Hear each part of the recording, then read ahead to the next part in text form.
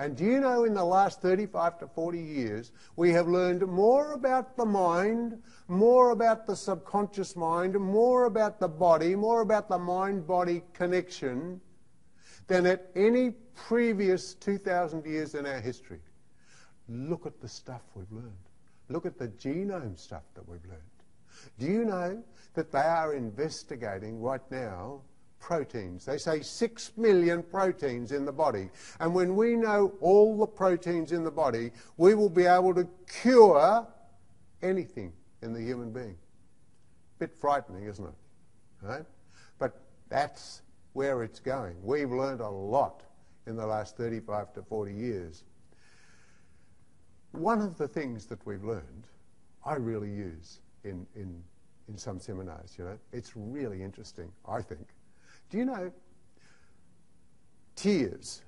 You can have tears of sadness, can't you? Right? Tears of sadness, right? You can have also tears of happiness, can't you? Yeah? Well, do you know that they have a different chemical constitution?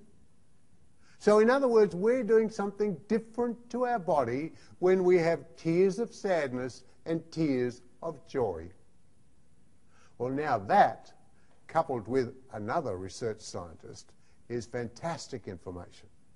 You see, emotion is memory for the subconscious mind. Emotion is memory.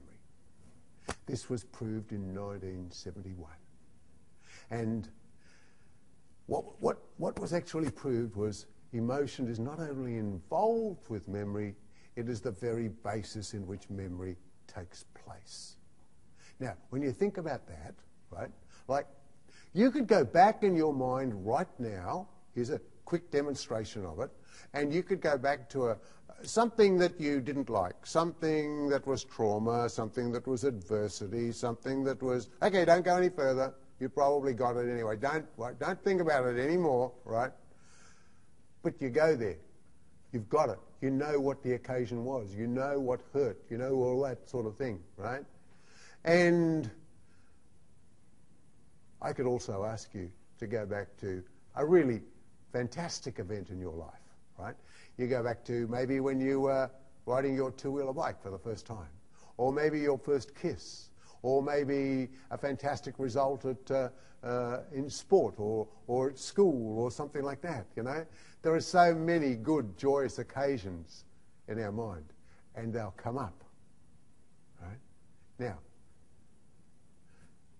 how did you remember them? That's the key. How did you remember them? I mean, to remember either the negative event or the joyous event, did you have to tell other people about them? Did you have to write about it and write about it again and again? Did you have to make a, a mind map about it? Did you have to do all those sort of things to remember it? No. It's stuck fast, isn't it? It's right there. So, in other words, the emotion of the event made it stay in your memory. So now, right, now, we can remember with both negative emotion and we can remember with positive emotion, do we use negative emotion to enhance imprinting on our memory? The answer is no, because of the tears stuff. Tears of sadness, tears of joy, different chemical constitution. We know we're doing something different to our body with negative stuff, and it doesn't help us feel good, the negative stuff, right? So therefore, we only use positive, right? Positive, joyous memory connections, okay? To enhance memory within the subconscious mind. So that's something that came out of this science a long, long, long time ago.